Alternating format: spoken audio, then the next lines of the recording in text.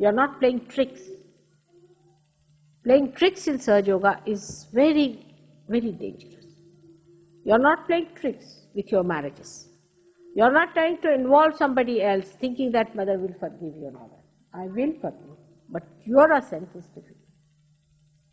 So don't try to play tricks with anything that you have been doing before, but change yourself completely, transform yourself. Now you change your attitude towards life, you can, because it is changed already. If you try to be the other person, you cannot. Now you have become a flower, now you can't become suddenly the leaf.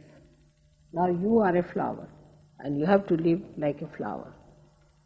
And that's what you have to remember, that compassion is such an outflow, it's such a natural thing for a surgeon. It's not natural for anybody else. Other people who talk of compassion or this and that are actually are not at all compassionate. They are doing it for money, they are doing it for position, they are doing for ego satisfaction. But you are ha- having compassion because you have to have it. Jolly well. It is flowing, the compassion, because it has to flow. And you are doing compassion because of compassion. There is no other purpose behind. Only this will give you something that is of permanent nature, of a sthayi nature. I have seen people, as I was telling in the morning, who have gone to an organization, made a beautiful organization out of it, and once they leave, the organization is finished. Because they do not give anything substantial to that organization. And what is to be given is a large heart of compassion. If you do not give that, once you go away from that, the rest of them are again barren.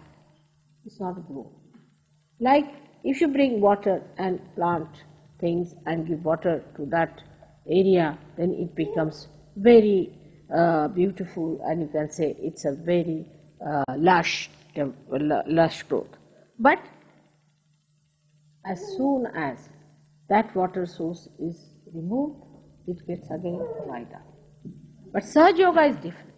In Sahaja Yoga, you not only grow as a plant, but also as the source of the plant.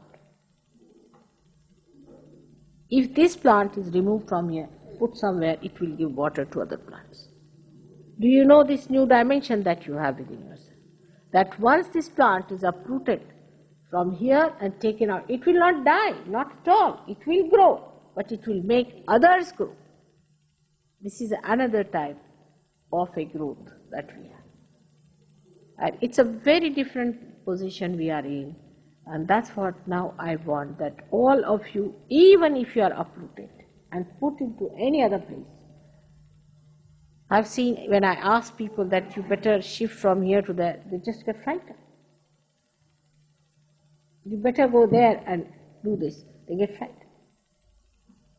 You are a plant which can not only go and prosper in any place, but you will give the necessary nourishment to other plants. That's what you are. So do not stick on to one place. If you stick on, then think there must be something wrong with the place. Like a glue, if you are sticking to one place, it's very dangerous. And be sure that you must turn away from such a place which glues you. That doesn't mean that as people are here, they never stay in the house, all the time running out. It doesn't mean. Again, I have to strike that point. Because otherwise, the people are here, are all the time running away from their houses. That's not the point. The point is that you should not be glued to it and not afraid of leaving any place because now you are Sahajogis. You have joined the ocean and ocean can take you in. So just prepare yourself to move into any place because you have to take this compassion everywhere and to prosper the kingdom of God you have to serve Him. And this service only possible if you know that you are here for a very great universal task, not only for England, for India, or for uh, America, but you are here for a global task, which is the epitome of our evolution. This is the highest thing we have to do for our creation and for our creator. And you are chosen for that. So don't divert your attention to anything that is not fulfilling your own manifestation. Discard all that. Don't waste your energy. And your manifestation is your compassion, your love. But still, it should not remain rational. Whatever I have said to you is just to put you into a condition where you start sucking the vibrations as well as giving the vibrations. It is an action which is a happening that should take place within you. It's not rationality, it's not thinking about it. Only by saying these things, I really stun your thinking. You should allow this to happen to you just with the vibratory awareness, you should judge yourself. Am I the one who is giving vibrations to others? Am I the one who has stored these vibrations? Or am I getting ruined? All this will give you a great meaning and an employment, as I said, employed by God. If you have any questions, ask me.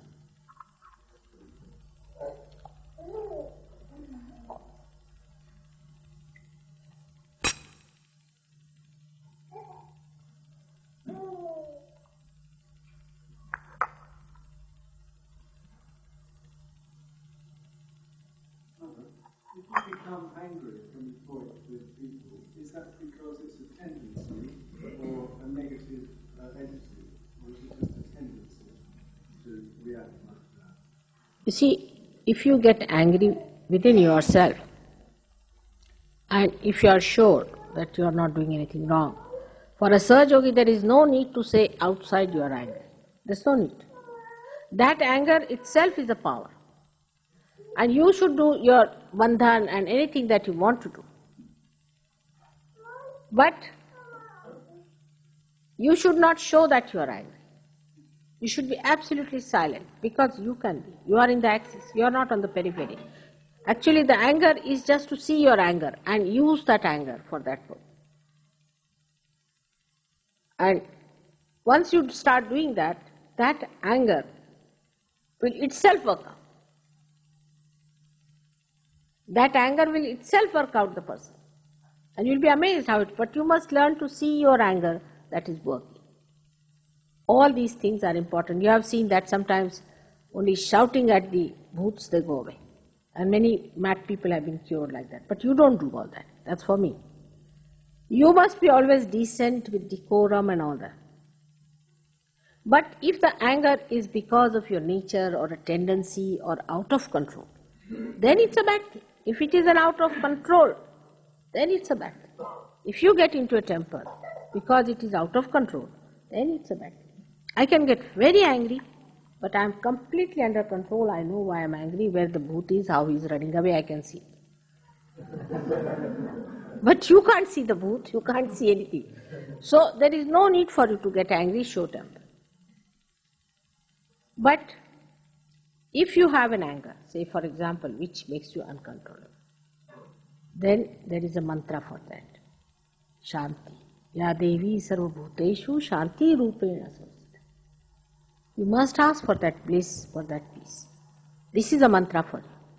For controlling your temper, you have to tell yourself, Ya Devi Sarvabhuteshu Shanti Rupena Samsthita.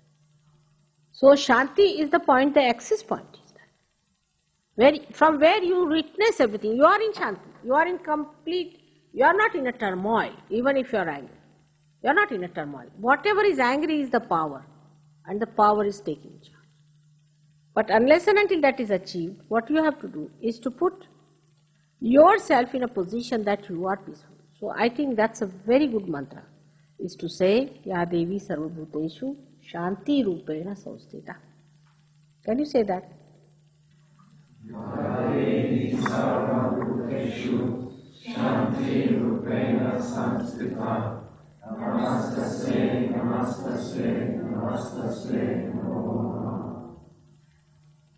So the Shanti is your fort. But peacefulness never means cowardice, never call cowardice as peace. A person who is peaceful is never coward because nothing can transgress it. Nothing can overpower it. It is never, never possible that cowardice and peace can go together. But your power is inside, not outside. So you don't show your power of your anger outside. But just a little anger with anybody, you will see it will work.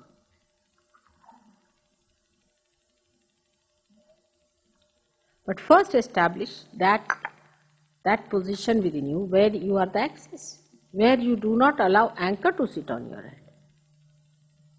That is the growth. That is the growth. That you are at peace. Also, another question. All right, satisfied now? Both ways you should know. That one is the anger that is detached is perfectly all right. Anger which involves you, work it out. So judge yourself as to what it is. Good question. Hmm.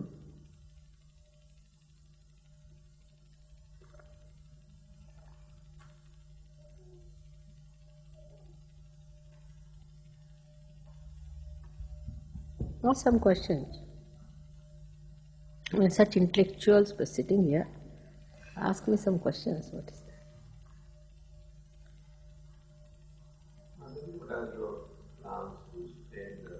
Huh? uh? What are my plans? I don't plan. You see, I don't plan because I don't know how far uh, my instruments are ready. You see, first now my only plans, if I have any, is to really prepare my weapons all right. Once they are done, then we'll fix them up. You see, unless and until you know how far your bomb can fall, how can you plan it? So first of all, I must measure up the power of my children, how powerful they are. That's what I'm trying to do now, is to make them aware of their powers, to use. Like you see, Hanumana, when he was born and when he grew up, he forgot that time. And he forgot his powers. So he was to be reminded that you are such and such powerful person. You don't know what your powers are. You, you ate off the whole of Surya. This you did in your childhood. You are born with this power, but now after growing, you are rather be sort of uh, forgotten it, and also you are you were afraid of using them, and it's uh, sort of looks like in a domi- uh, dominant position. But it is there. If you just try to remember them, it will come. They have tremendous power. These people have tremendous power, but they have to assume and stand on that. If they do not do it, you see, if I tell them now, go to this house, oh mother, there may be a bhoot there sitting.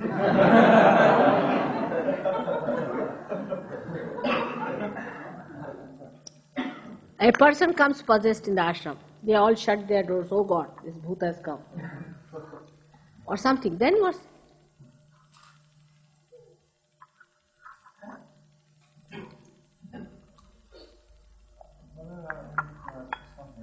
Hmm? How can we deal with, uh, so there is one problem, and one big problem inside river. and It's uh, those who are devoted to you at the expense of others. Those who are devoted to me, Those who use uh, the excuse of their devotion to you, Mother, sometimes to oppress others. they are what?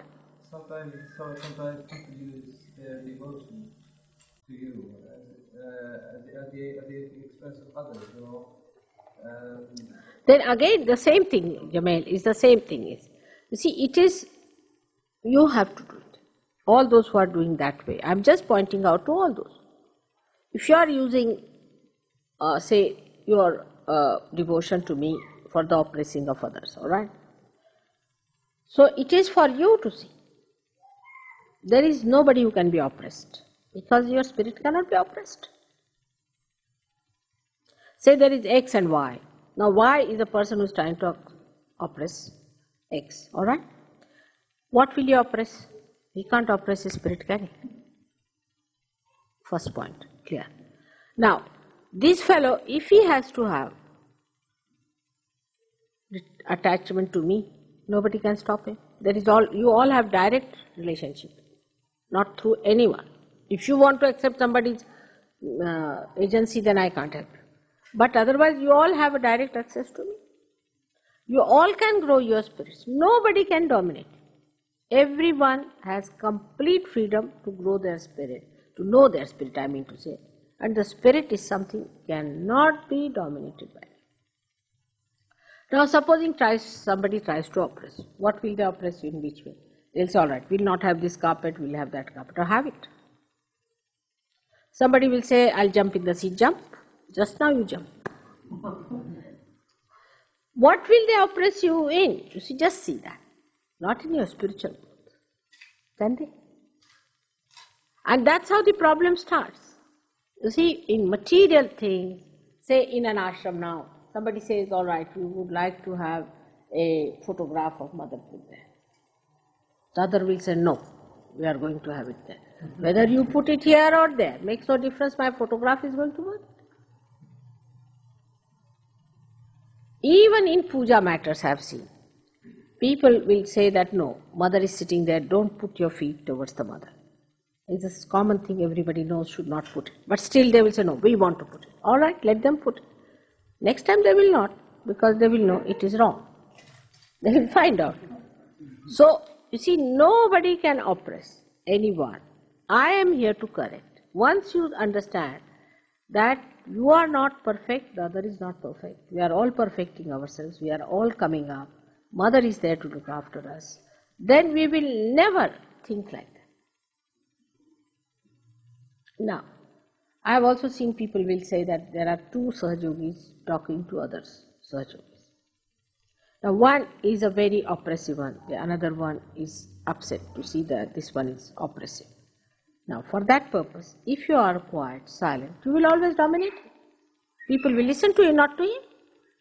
But even if you start saying, oh, you don't say like that and this, they will think these are fighting cocks. Then at that time, your wiser this thing will even give him a chance understand. But what happens? One person dominates, another tries to dominate them by outward things, and the whole show is over. There is no need to dominate another person by outward things. He will settle down by himself if you show your dignity of your silence and of your understanding of Sahaja. There is no need just now to say, shut up, you sit down, you don't do. It's absolutely wrong. They do it, I've seen. In my presence, I've seen. Because we still live halfway there and halfway here. The way we solve the problem, say you have to do some business. There are two people doing the business. One person says something, another says, why did you say like? You shouldn't say. This person says to that person, uh, you shouldn't correct me. Like that the fight is on. But that doesn't help anyway, there also. But in Sahaja Yoga it will never help. The another person can only be over by his dignity, by his quiet methods, by approaching a person properly. That's how the leaders will come They won't come up by shooting another person down, not at all by any chance. That's not possible. It's not good leadership. Good leadership is judged the way you handle the situation, not the way you fight another man down. So many times I have seen, I just keep quiet, it works out. Not necessary that you should at that moment shout. There's no need. And it creates a very bad impression and very bad leadership. First of all, you cannot be dominated. This is one fact. You can grow in your spirituality whatever people may try to dominate in the worldly things. Thank God we don't have any organization. Thank God we don't have secretaries, assistant secretaries, under secretaries, by secretaries, upper secretaries, lower secretaries. We don't have any answer. Otherwise, even that would have been dominating. Then they will, would have fought, fought that. So we don't have that problem. We don't have any money problem because we don't have all these nonsensical ideas I have solved these problems by having no institutions, no positions. Everybody has position. But the greatest position is of your spirit, which you establish. The attention is not there, is more ego oriented. The whole stuff is ego oriented. You can't fight ego with ego. You cannot. You can only fight ego or super ego with spirit. How much do I dominate you? I absorb all your aggression also. And how much do I dominate you? If I have to correct you, I go forward and do it and tell you that I am correcting you, whether you like it or not. And you see the result, it's all right. But if you have that capacity, do it. Then there is lacking in you that you cannot do that way. So be prepared not to at least spoil the show of surgery. One person is talking too much, all right, the others will say he is good for nothing, but another one is a sensible. But if you both are fighting. That doesn't show any wisdom or growth, isn't it? Does it?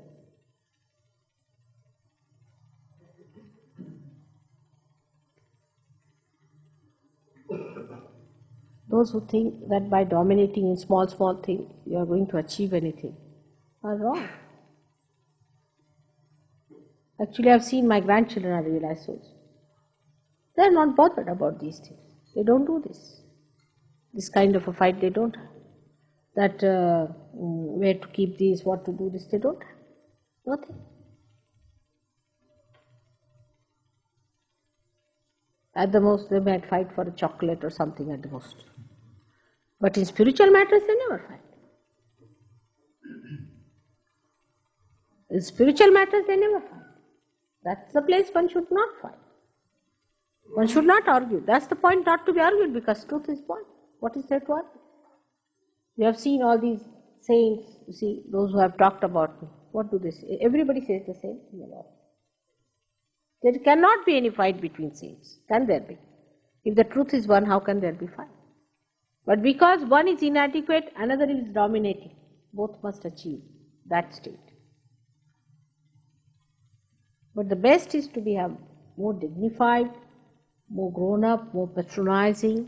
People will definitely take to you because you will become the leader.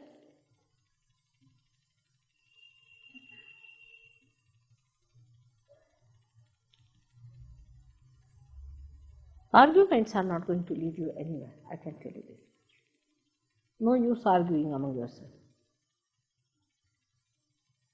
If you have to argue, you have to argue with others, not among yourself. Hmm. Otherwise, no. What else?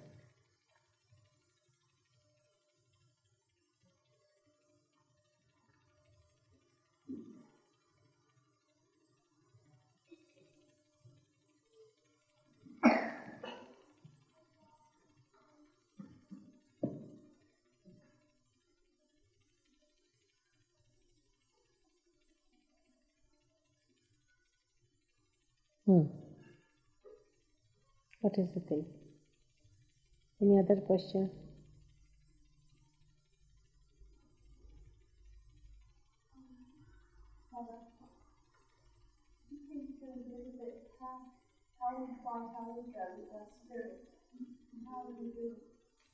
How do we fight the ego?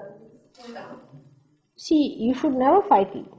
If you try to fight it, it will sit more on you. That's not the way to fight. That there is ego and you fight your ego, oh yeah, I'm going to box you, then it will grow more. See, the more you box it, the more it will grow. Never fight your ego. Only way is to see it. Your attention is very important. Your attention is now enlightened. Whatever you see, it comes to its right side. It comes to its right side. Size. Say ego. If it is overgrown, you just watch your ego. Best is to watch yourself in the mirror and you say, Oh, Mr. Ego, how do you do? then it will come down. But don't fight it, just to be seen. All kinds of egos could be there. If you are overeducated, you are egoistical. If you are uneducated, you are egoistical because you must try to show that you are something. All sorts of egos are there. So best thing is to see for yourself. That's why I say face yourself. Yourself means your spirit.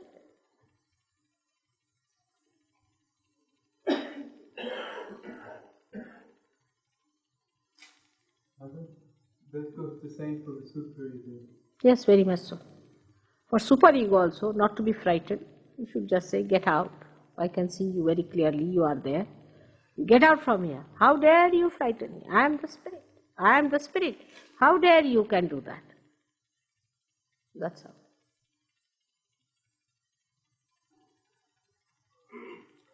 You see, ego makes you idiotic. Absolutely. Ego makes you idiotic. Makes an idiot out of you. Absolutely.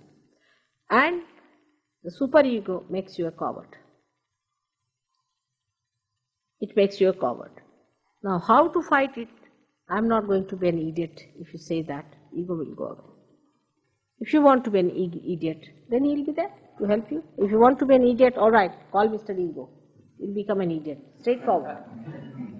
The easiest way, easiest way, if you want to become an idiot, simple thing is to call the ego.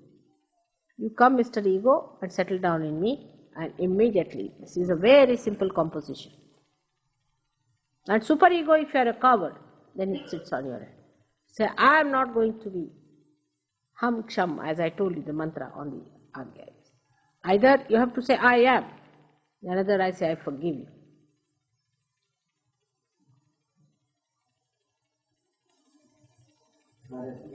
question similar to what you said about superego. I'll be particular. Um, I'm still having problems with my eating. Um, I am eating a lot here, but I'm very afraid. I'm laughing because it is silly. That I'll become fat. And I'm very afraid. I think a lot about food all the time. And yet I, I know that with you nothing bad can happen to me. Alright, you do one thing just now. You put your left hand towards me and right hand outside. She has a hamsa here, that up. There, you see the hamsa. Tell her to come down. Coming, coming. Let's see. Sorry. Put the hamsa. I didn't see it clearly. Hello. आ गए अच्छा हुआ हाँ waiting for you. Hmm. Come forward. You can come forward a little bit. Lots of people are there. आओ you इधर से आ जाओ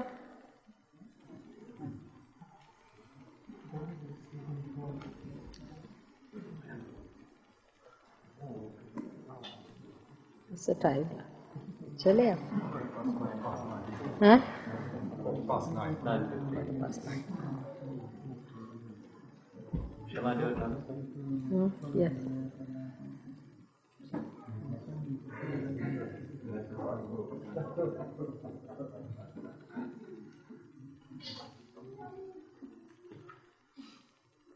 As I have told you, that relationship with yourself should be tyrannical. should lash it down. You should absolutely make it clear to yourself that I have to perfect myself if I have to give this my being to God. Secondly, if you have to have relationship with others, it has to be ideal relationship. Sahajogi with Sahajogi means something great. The greatest relationship is that.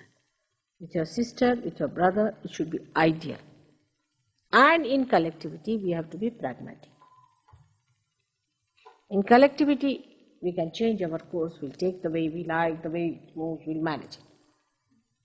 But otherwise, you see, for example, take a plane.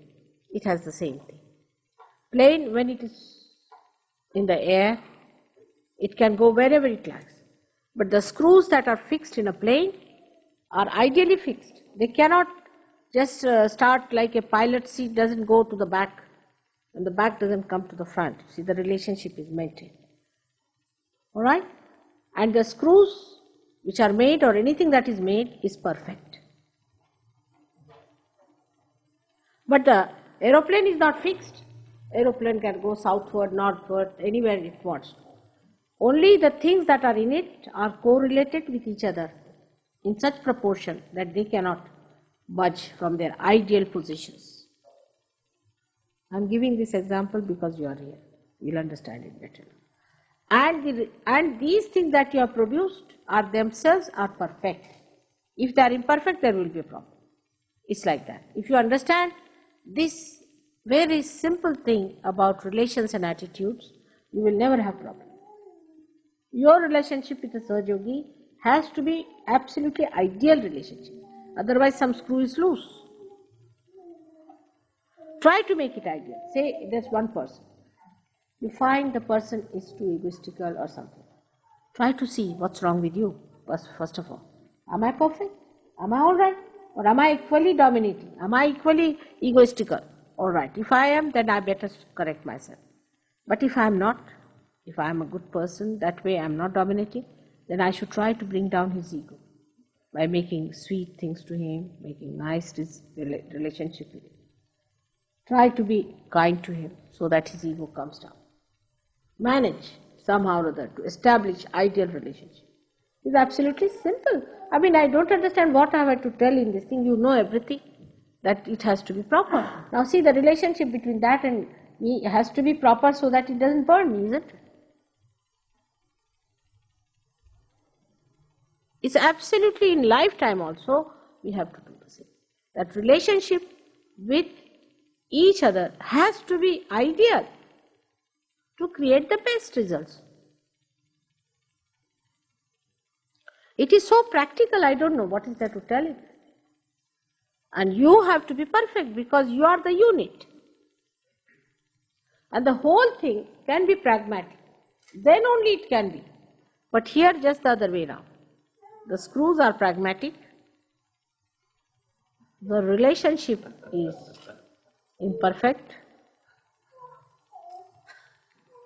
And the collectivity is absolutely static. Doesn't move. The collectivity, after all, we are collective, bound to each other. How can we move, mother? We are static now. We are bound to each other, we can't move, you see. Just like Rock of Gibraltar.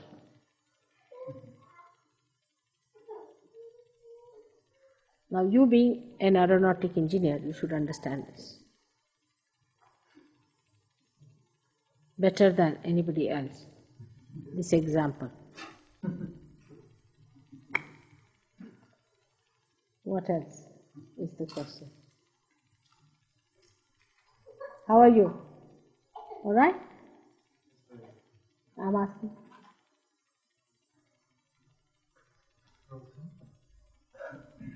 What other question? Srimati, can you say something about maintaining our attention so that it stays where it should and doesn't get diverted into trivial things? Uh, Rustam has asked a very practical question. It's true that to keep the attention where it should be. You see, for everything, you have to do some exercise, abhyas. Not before realization, after realization. The best way is to learn how to watch yourself.